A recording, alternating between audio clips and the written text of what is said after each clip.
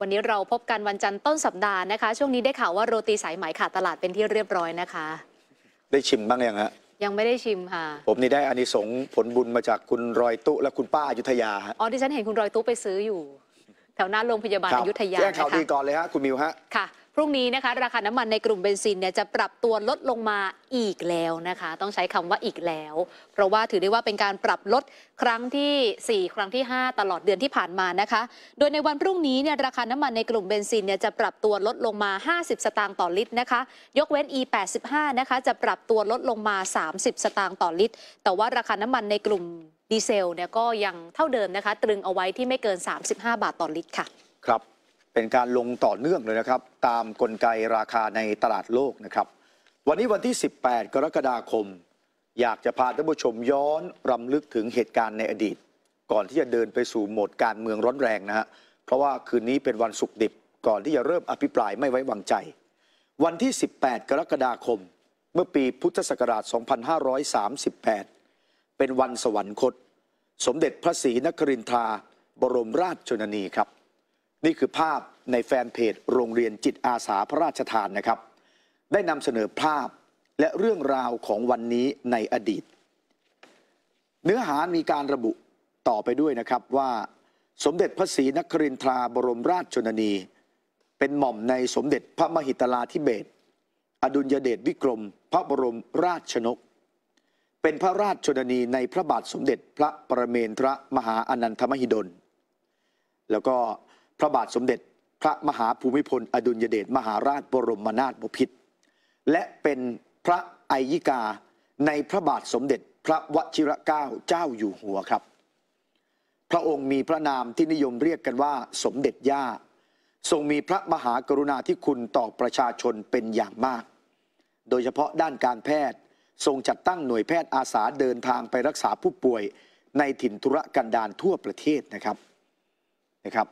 นี่คือภาพจำสมัยที่ท่านผู้ชมอ่าที่สูงวัยหน่อยนะค่ะก็จะจำภาพเหล่านี้ได้นะครับ วันที่ 18 กรกฎาคม พุทธศักราช 2538 นะฮะเป็นวันสวรรคต สมเด็จพระศรีนครินทราบรมราชชนนีครับ นี่เป็นภาพชุดที่นำมาอ่าทบทวนความทรงจำเพื่อน้อมรำลึกในพระมหากรุณาธิคุณในโอกาสนี้ ในแฟนเพจของอาจารย์อภิชาติดำดี ได้เขียนบทกวีนะครับ 18 กรกฎาแม่ฟ้าหลวง จากลูกไทยทั้งปวงสู่สวงสวรรค์ พระบุญญายังสถิตนิจนิรันด์สร้างราชันผู้ยิ่งใหญ่ให้แผ่นดินนะฮะเป็นโอกาสที่เราคนไทยคงได้น้อมกลับไปนะระลึกถึงเหตุการณ์ในอดีตนะฮะพระมหากรุณาธิคุณของพระองค์ท่าน คำพูดที่อาจารย์อภิชาติดำดีใช้ สร้างราชันผู้ยิ่งใหญ่ให้แผ่นดิน แล้วไม่ใช่แค่พระองค์เดียวด้วยนะครับ พูดถึงเรื่องสถาบันพระมหากษัตริย์วันนี้มีงานเขียนเป็นภาพวาดของศิลปินท่านหนึ่ง อยากจะให้ชมก่อน เป็นภาพวาดที่นำไปแชร์อยู่ในแฟนเพจ ในกลุ่มวาดภาพเหมือน แล้วถูกกลุ่มการเมืองแนวร่วมม็อบสามนิ้วเนี่ยโอ้โหไปรุมถล่ม ไปด้อยค่า ไปโจมตีต่างๆ นานา นั่นคือภาพวาดภาพนี้นะครับ เป็นภาพวาดของคุณนรงชัย คุณนรงชัยเนี่ยได้วาดภาพนี้ แล้วนำไปเผยแพร่อยู่ในกลุ่ม วาดภาพเหมือน แล้วใช้ข้อความประกอบว่า ขออนุญาตแสดงผลงานเก่าครับ 10 ปีที่แล้ว ปี 2556 ชีวิตที่พอเพียง สีอะคริลิกบนผ้าใบ ภาพภาพนี้แหละครับท่านผู้ชมลองพิจารณาโดยละเอียดในเนื้อหาภาพนี้ มีพระบรมฉายาลักษณ์ของในหลวงอยู่ แล้วก็เหมือนชาวบ้านทั่วไปในต่างจังหวัดฮะที่จะมีปฏิทินภาพในหลวงก็จะแขวนไว้ในที่สูง เป็นมิ่งขวัญเป็นกำลังใจ แล้วชีวิตในต่างจังหวัดก็อย่างนี้แหละครับนะฮะทำมาหากินนะฮะแต่ปรากฏว่าถูกคนเนี่ยเข้าไปแซะ เข้าไปโจมตีสารพัดอย่าง โดยบิดเบือนสาระสำคัญนะค่ะ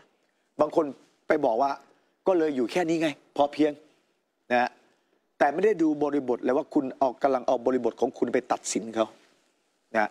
คำว่าพอเพียงในหลวงไม่เคยบอกว่าพอเพียงเนี่ยอยู่ยังไงให้อยู่อย่างนั้นไม่ใช่นะฮะนะฮะแต่ถูกบิดเบือนไปไกลเลย นี่คือภาพวาดในความรู้สึกของผมเนี่ย ผมว่าหมดจดงดงามมากนะ ท่านผู้ชมดูแล้วรู้สึกอย่างไรนะครับ แล้วก็ภาพของศิลปินท่านเดียวกันเนี่ยถ้าย้อนกลับไปปีก่อนโน้นนะฮะลองไปค้นผลงานของท่านดูเนี่ย ท่านชอบวาดรูปแบบนี้แหละครับ คุณนรงค์ชัยเนี่ยเคยวาดภาพเอาไว้นี่ อันนี้เป็นภาพเมื่อปีก่อนโน้นค่ะ เป็นภาพธรรมดาธรรมดาคุณมิวสวยมากแต่ดูแล้วทำไมมันอบอุ่นจังเนี่ยครับ ชีวิตแบบบ้านๆนะฮะนะฮะแล้วก็บนผนังภาพ นะก็มีปฏิทิน มีในหลวงมีสถาบันพระมหากษัตริย์มีธงชาตินะฮะแล้วก็มีภาพคุณยายนอนกอดหลานอยู่นะแล้วก็มีหนังสือวางอยู่ข้างๆ เข้าใจว่าคงเพิ่งอ่านหนังสือกันเสร็จ ดูแล้วมีความสุขอะดูแล้วอบอุ่น แต่คนกลุ่มหนึ่งเนี่ยร้อนนะฮะแล้วถ้าย้อนกลับไปอีกฮะเป็นภาพที่วาดเพื่อรำลึกถึง 13 ตุลารำลึกในพระมหากรุณาธิคุณ นี่เป็นภาพวาดเก่าที่คุณนรงค์ชัยเนี่ยเคยวาดไว้นะครับ ซึ่งทำให้เห็นว่า ศิลปินท่านเนี้ยท่านชอบวาดภาพในหลวงจริงๆนะฮะแล้วจริงๆเนี่ยไม่ใช่แค่วาดภาพในหลวง วาดภาพศิลปินคนอื่น ๆ ร่วมสมัยเนี่ยท่านก็วาดนะฮะแล้วก็ปรากฏว่าชอบวาดน้องลิซ่าเนี่ยหลายภาพมากนะฮะค่ะนะฮะคุณนรงค์ชัยเนี่ยเคยวาดเป็นดินสอนะฮะดินสอ ชาโต้และคาร์บอนบนกระดาษ โอ้เหมือนนะคะสวยไหมสวยมาก อ่า คือแบบมีวาดแสงและเงานะวาดคุณหมิวแล้วได้ออกมาอย่างนี้โอเคไหม โอ้โอเคสิคะ ไม่ละวาดคุณหมิวนะแต่ออกมาเป็นลิซ่าได้ไหม คือเกินจริงเลยอะ แล้วอีกรูปหนึ่งฮะ อันนี้ก็ผลงานของคุณนรงค์ชัยนะฮะ นี่ โอ้สวยไหมเพลงฮิตไงลาลิสา เออแล้วเนี่ยมีวาดทั้งทั้งวงก็มีนะฮะ อ่า ถัดไปฮะ นี่